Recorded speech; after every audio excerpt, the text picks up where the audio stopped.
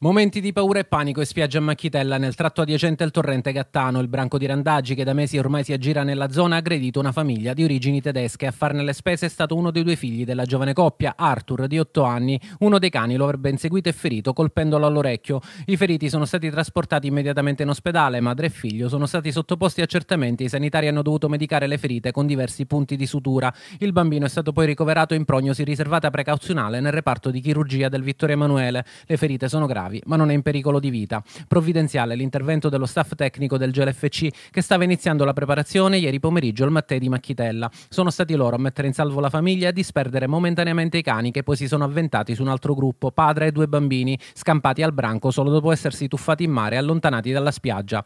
Sul posto sono arrivate anche due pattuglie di carabinieri. Anche i militari dell'arma sono stati attaccati dai cani e sono stati costretti a esplodere diversi colpi di pistola per disperdere gli animali. Tanta paura, ma soprattutto tanta rabbia nel racconto di Massimo, il massaggiatore della squadra di calcio, tra i primi a intervenire.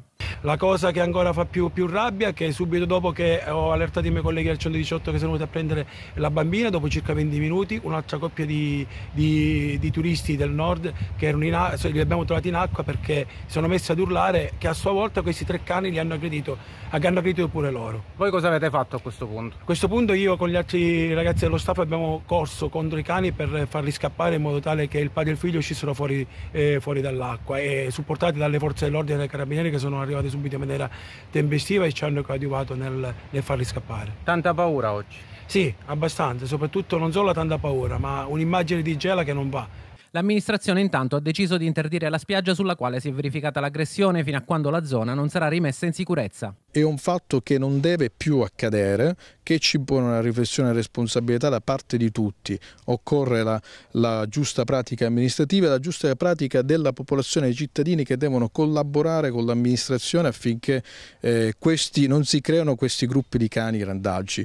Perché eh, più volte siamo venuti in questo posto, più volte abbiamo anche accalappiato dei cani, ma ogni anno i gruppi di cani si creano, ma si creano perché c'è un abbandono oh, da parte di qualche imbecille e c'è anche qualche imbecille che viene a dare da mangiare, quindi occorre necessariamente la sinergia da parte di tutti gli attori eh, che devono debellare il fenomeno. Quella di ieri è l'ennesima aggressione a opera dei randaggi di Montelungo. Il comune aveva incaricato una ditta per catturare il branco, già segnalato in passato, ma la società di Catania ha ritenuto di non proseguire il servizio di telenarcosi poiché qualcuno porta scarti di macelleria quasi ogni giorno nella zona del campo Mattei di Macchitella, rendendo vano ogni tentativo di far entrare nelle gabbie trappole i cani. Oggi l'ennesimo sopralluogo da parte dei responsabili della ditta. Abbiamo accalappiato alcuni di questi cani.